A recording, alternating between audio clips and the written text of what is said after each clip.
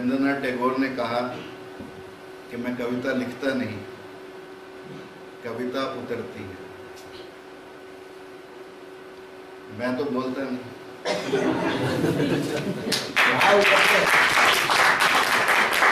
और जो तीन बातें विश्व बंधु जी ने कही, ये कोई सुमित्रानंदन पंथ के जीवन की बात नहीं कि पहले छायावाद, फिर प्रगतिवाद और फिर अध्यात्मवाद। ये व्यक्ति के जीवन की यात्रा। हम अपने जीवन को ही देखें, पहले हम विचारहीन होते हैं अपने बाल्यावस्था में, फिर हम विचारवान बनते हैं अपनी इस अवस्था में, और फिर हम निर्विचार बनते हैं। वो अध्यात्म की अवस्था। इसलिए जब भी कविता मेरा भी ये मानना है कि लिखी नहीं जाती। रविंद्रनाथ टैगोर के बारे में तो यहाँ तक कहा गया कि जब कविता उतरती थी तो पहले वो वायलेंट हो जाते थी।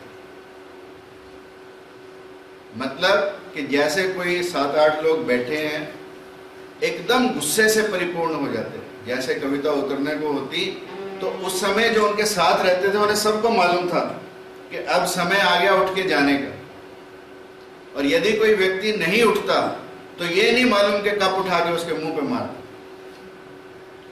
तो नंदलाल बोस जो उनके देवेंद्रनाथ ठाकुर के बहुत ही प्रिय थे और बहुत बड़े चित्रकार थे। उन्होंने लिखा कि एक दफ़ा मैंने भी ये देखा। और सब लोग उठकर चले गए, परंतु मेरे अंदर जिज्ञासा थी, मैं दरवाजे पे खड़ा रहा। कि रविंद्रनाथ टैगोर पहले बड़े ज़ोर से हिले, कंपन हुआ उनके शरीर में, और फिर एकदम मौन में चले गए, और फिर कविता लिख यदि आप मोहम्मद के बारे में पढ़ें तो मोहम्मद निपट अनपढ़ थे। पढ़ने लिखने से कोई संबंध नहीं था, परंतु कुरान की आयतें लिखी। लिखी नहीं, उतरी। वो बोलते गए और उनकी पत्नी जो पढ़ी लिखी थी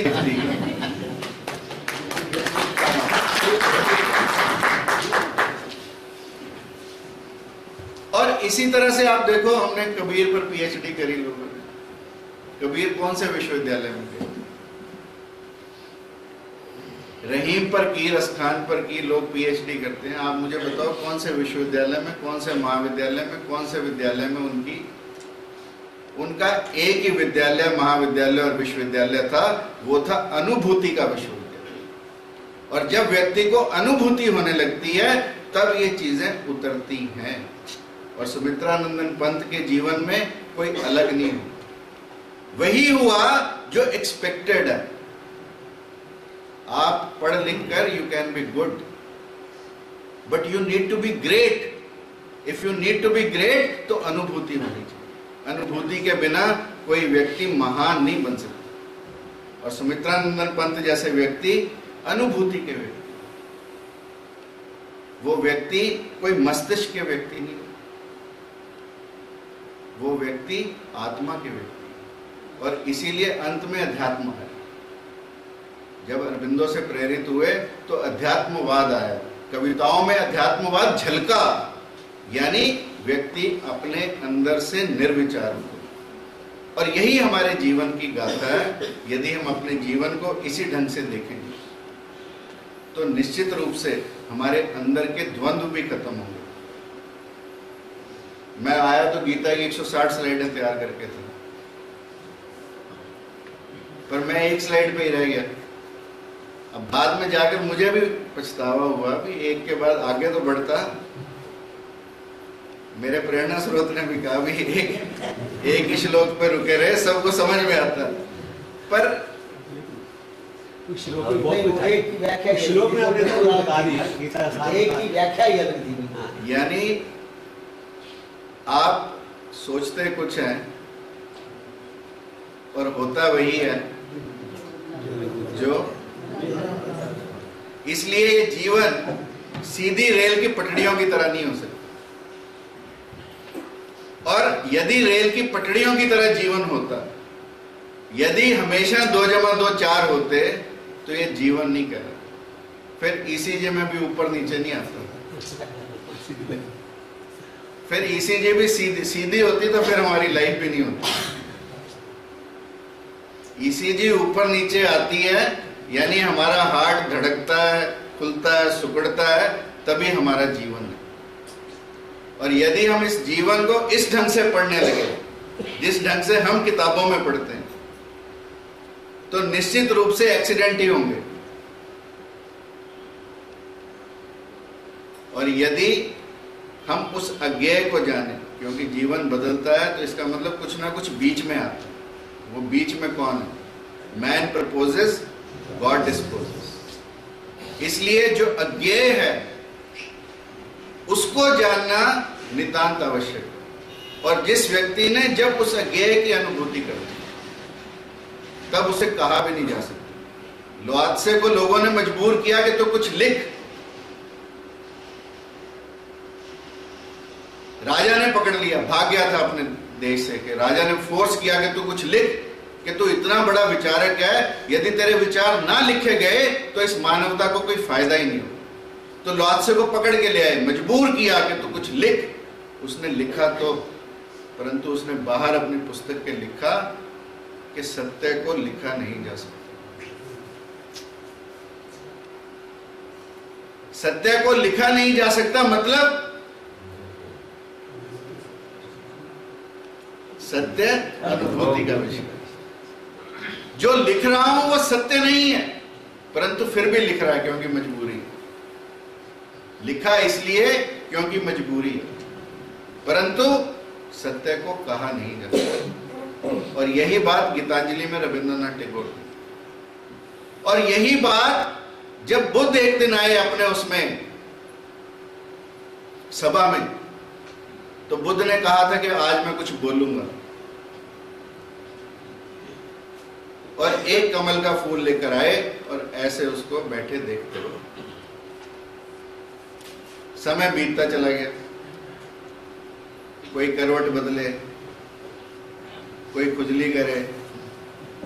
बेचैनी होती है ना। अब मान लो मैं यहाँ एक मिनट ऐसे खड़ा हो जाऊँ।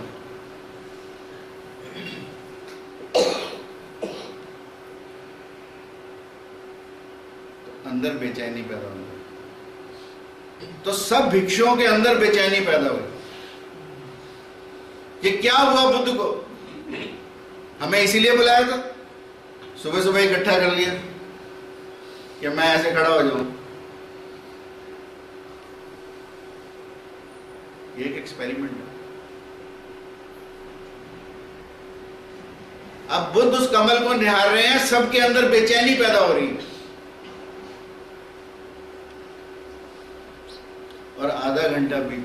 घंटों बीते बुद्ध ने कुछ नहीं किया। इतने में खड़ा हुआ। तो उसने कहा, बोलते क्यों नहीं? इसलिए बुलाया था हमने? तो इतने में एक महाकश्यप था। बुद्ध का शिष्य था महाकश्यप। वो हंसा। वो हंसा और सभा समाप्त हो गई। अब सबने प्रश्न किया कि महाकश्यप क्यों हंसा? सब महाकश्यप के पीछे पड़ गए, भी तू क्यों हंसा? यहाँ भी ऐसे ही होता है। हर सभा में तकरीबन तकरीबन वही होता है जो वहाँ महाकश्यप हंसा, सब महाकश्यप के पीछे पड़े, भी तू हंसा और बुद्ध ने सभा समाप्त की। क्यों हुआ ऐसा?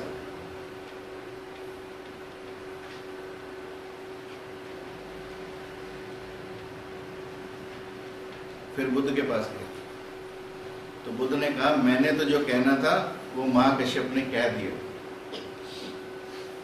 फिर महाकश्यप से पूछा कि तूने क्या कहा? तू क्यों हंसा? बुद्ध ने क्या कहा था बता हमें भी। तो कहते हैं महाकश्यप ने नहीं बताया। परंतु महाकश्यप से आगे छह पीढ़ियों ने सीखा। और छह पीढ़ियों के बाद बोधि धर्म, जो बुद्ध का अनुयायी था वो जब चीन गया तो उसने कहा कि जो बुद्ध ने महाकश्यप से कहा था, आज तुम्हें मैं कहता हूँ। कम से कम 700-800 साल के बाद। और किस लिए कहता हूँ? क्योंकि मुझे मौन में सुनने वाला कोई व्यक्ति नहीं मिला। बुद्ध ने जो महाकश्यप से कहा, वो मौन में कहा।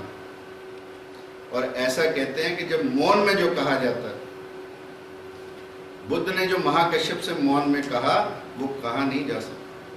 इसलिए महाकश्यप हंसा। वो कह नहीं सकता था, परंतु जो मौन में उसे सुनने वाले थे, उनको कह पाया और छह पीढ़ी तक ये बात चलती रही। परंतु जब बोधि धर्म को कोई मौन में सुनने वाला नहीं मिला, तब बोधि धर्म ने कहा, परंतु कहने के साथ साथ फिर कहा कि जो बुद्ध ने महाकश्यप को कहा था, वो कहा नहीं जा सकता। गुरजेफ ने भी एक्सपेरिमेंट किया क्रिस्टलाइजेशन गुरजेफ के साथ ओस्पेंसकी था।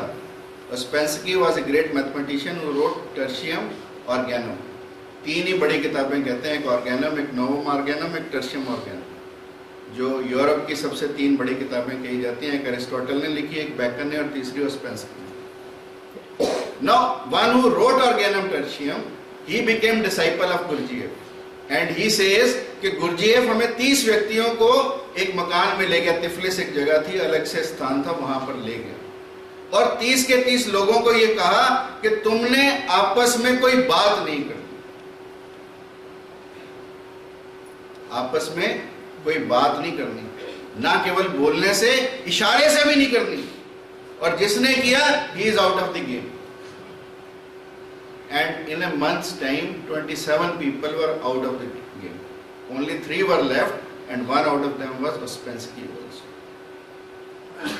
and Ospensky writes कि उसके बाद हम तीनों पीछे बैठे थे गुरजेफ यहाँ बैठे थे उसके बाद मुझे आवाज़ आई मैं गुरजेफ बोल रहा हूँ मैंने देखा गुरजेफ के होंठ बंद बोला तो नहीं गुरजेफ पर फिर भी अंदर से आवाज़ आई मैं गुरजेफ बोल रहा हूँ ऑस्पेंसकी फील्स तो स्पेंसकी देन राइट्स कि जो मॉल में गुरजेफ ने फिर मुझे कहा that became the basis for Tertium Organum यानी मॉन में कही गई बात। आप भी एक्सपेरिमेंट करके देखो, एक उसने लिखा है ऑस्पेंसकी ने कि आप एक कमरे में बैठो और एक छोटे से बच्चे को ले लो। छोटा सा बच्चा इसलिए क्योंकि उसकी बुद्धि में ज़्यादा हमारी तरह विचार नहीं आते। उसकी बुद्धि निर्लेप he is accept he is acceptable. He accepts everything, whatever you say. So that is why he says कि आप एक बच्चे को कोने में बिठाओ, एक कोने में आप बैठ जाओ। कमरे का अंधेरा कर दो। उसके बाद आप अपने अंदर अंदर बोलने लगो, गुलाब गुलाब गुलाब गुलाब। थोड़ी देर में वो बच्चा बोल पड़ेगा कि आप गुलाब बोलो चाहे आप आवाज़ नहीं कर रहे, पर वो बच्चा बोल उठेगा, ये है मौन संवाद। यह व्यक्ति के भीतर का संवाद। और जब व्यक्ति के भीतर का संवाद झंकरित होने लगता है, तब कविता उतरती है, तब लिखी नहीं जाती और यही सुमित्रानंदन पंत ने किया थैंक यू वेरी मच